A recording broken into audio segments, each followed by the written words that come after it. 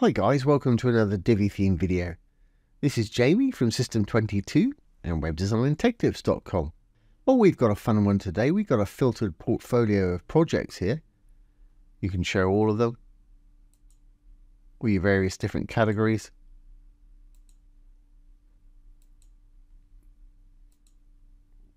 Really nice thing to have on your website, really easy to do.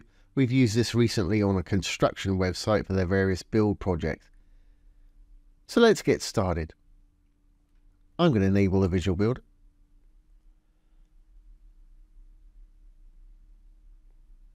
Once enabled, I'm going to go down. We'll add a new section. Little blue button to add a section.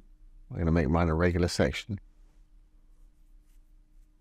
And inside, I'm going to put a single column.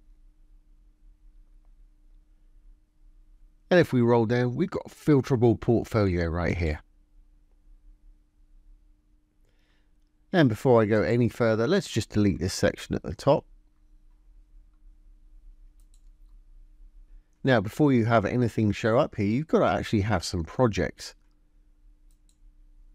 And for anybody that doesn't know, you create those exactly the same as you do for blog posts. Go down to your dashboard, projects, and add new, and just build them any way you want. But like I say, before they'll show up, you've got to have some in here. And once you've got them in here, you can add categories same way as you can with a blog post by giving it a name, adding the category here. And if we look back at my projects over here, each of them has got at least one or two categories that it's in here. And to quickly change or add categories, you can hit the quick edit button. Go and choose the categories. You can change the name and things like that. You can actually schedule projects and choose whether you want to allow comments and things like that. Once you're finished, make sure you hit the update button and you're good to go. So if we go back in here, at the moment it's going to show everything that's in there. You can choose what categories that you want to show on yours.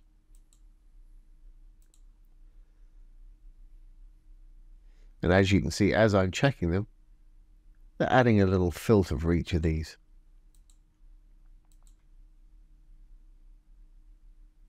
That's great. You can choose that the elements that you want to display down here. There's the title. You can show categories, web design, WordPress. And if you're not displaying all of your posts here, you can have pagination at the bottom. It looks like I'm displaying them all at the moment. If we go back up to our content, you can choose how many to display. So if I put three in there, for instance, There's three. If I move this out of the way, we've got pagination at the bottom, so you can move on to the next three, etc. I would say 16. I think I've got about 14. Great. Well, at the moment, they're displaying full width. And as you can see, the title and the text is just below there. And if we roll past elements there, you can link the whole thing to somewhere. I don't think there's any point for this because each of these is going to link to its individual project over there. You can change the background color here if you want to.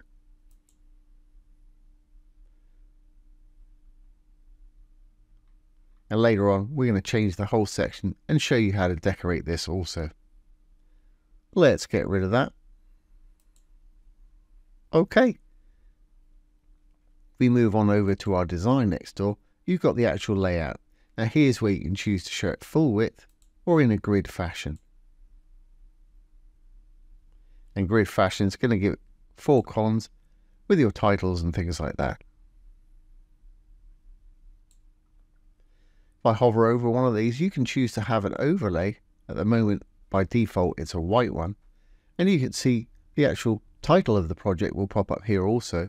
So you can choose to hide the title down there if you choose. If you want to change the color of the overlay or take it away completely, just click on the overlay tab right there. And you can change the icon color, color at the top there. I'm going to change mine to white. And the actual overlay color, change it to black and see what happens. That's great, but I want to see some of the image through there. So just click on the color field itself. Bring this little opacity slider down on the right hand side here. Now we can see some of the image through there. Perfect. If you want to change that little icon, it's a plus by default. Let's put a little eye on there. You can do it down here. Just do a search or scroll through. There's a lot to scroll through though. They've teamed up with Font Awesome. So there's plenty of icons. Now we should have an eye. Perfect. That'll work for me. Moving on down, you can choose to give your images curved corners if you want to. I'm happy with the square. Just make sure you've got that chain checked in the middle. It's checked by default. You'll do all four sides at once. You can give it a border if you want to. Just so you can see, I'll put a black one in there. Let's make it three or four pics. Let's put a black border around there. I'm happy to go without. If you want to, you can add a bit of box shadow, just to lift that image off the page a little bit. Again, I'm happy with it. Be fairly clean like that. Don't want to use any filters. You can get some crazy things going. If you change the colors on your filters, you can get some crazy hover effects and things like that going. I'm happy for it to be exactly how it is. If you wanted to create a hover effect, perhaps with a blur or something when you hover over it, come to all Divi modules, you can create a hover effect by hovering over, hitting the little arrow, be two tabs up there, and you can have completely different settings for each. So you can have it blurred out on hover, and normal on desktop. But again, I'm happy for it just to have the overlay. Okay, image blend mode will blend it with something that's in the background. We've got no background. Now you can choose your text here, whether to put it in the middle, have it light, dark, a little bit of box shadow. And you can actually do the title text, filter criteria text, and meta text separately up here.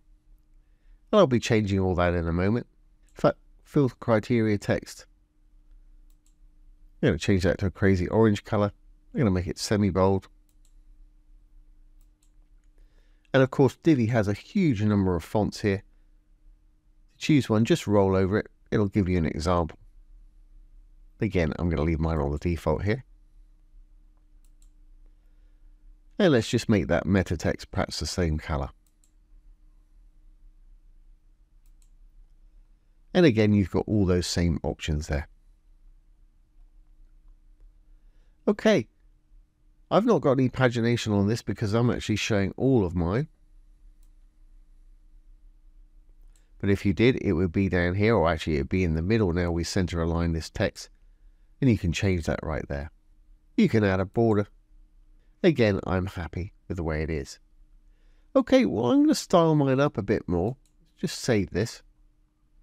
It's got all the info I want there, but I want to make it more like the one that you saw at the beginning, which was full width. And I want to style up a little filter bar up here. Okay, so the first thing I'm going to do is I'm going to make this row full width. Green tab for a row. Going to go into design, sizing. Anyway, width up to 100%. I'm going to copy that, Control C.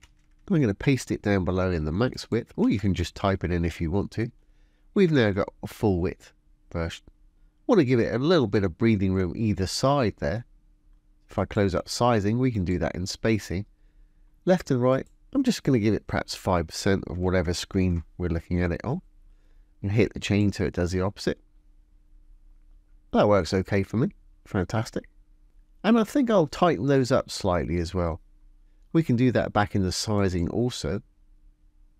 Use custom gutter width we take it down to the left a little bit, it'll make them closer. If you take it all the way down, you can have them actually touching each other, which is pretty cool if you take away the title and metadata down here.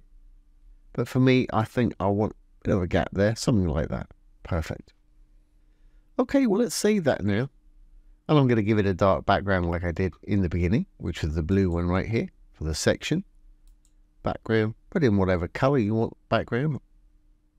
Or, of course, you can put in images and gradients and things like that. We did a whole video on background. You can get some crazy things going. So have a look at that video if you're not sure. I'm just going to put in a color today, my 2424. Great. Well, that's okay, but our filter bar, I'm not, not happy with the way that that looks. Oh, I need to turn my titles white. So we know how to do that. Let's go back into the actual portfolio module itself, over to design, title text, let's change it white in color. Great. Now, unfortunately, there's no way to change that filter bar color within the module itself here. Nothing obvious anyway. But it's easy to do with a bit of CSS and don't let that put you off. I've written it all for you. So if you go over to your advanced, once in advanced, go to custom CSS. In the freeform CSS, I'm going to put a few lines of CSS code that I've copied and I inspected this and got the class names. And I'll put this code down below for anybody who wants to use it. And all I'm basically doing is making all of these transparent, taking away the border. I'll tell you what they are one at a time. So this first bit, just copy and paste it in here. That's taking away that default white background that it's got there. But we've also got a hover effect that I need to take away. So I've got another little line of code that'll take that away. Just dropping down one. Now that hover effect's gone. Fantastic. And our all filter right there, which is actually what they call the active one, you need to take that away as well. So I've got one more little line of code.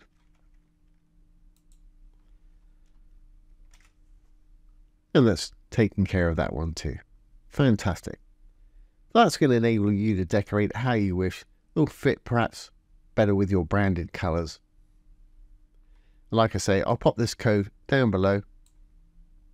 You've got the background colour is the top one here.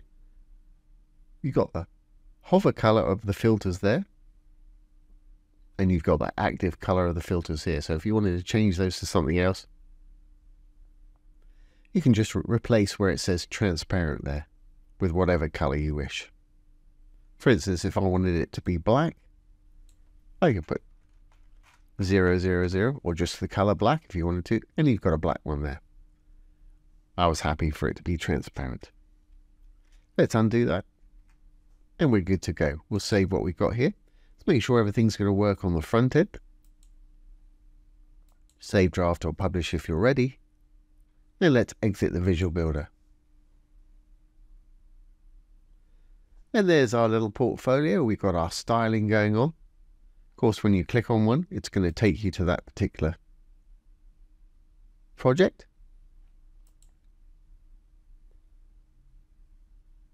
And we can filter them by category up here. Like I say, we've just used that on a construction site build and they were really pleased with it for the actual construction projects they've built. So there you go, guys. There's how to add a custom filterable portfolio to your Divi website.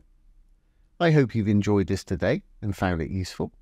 If you have, please give it a thumbs up, ring the bell, comment, share, and subscribe to our YouTube channel. Once again, this has been Jamie with System22 and WebDesignTechTips.com. Thanks for watching have a great day.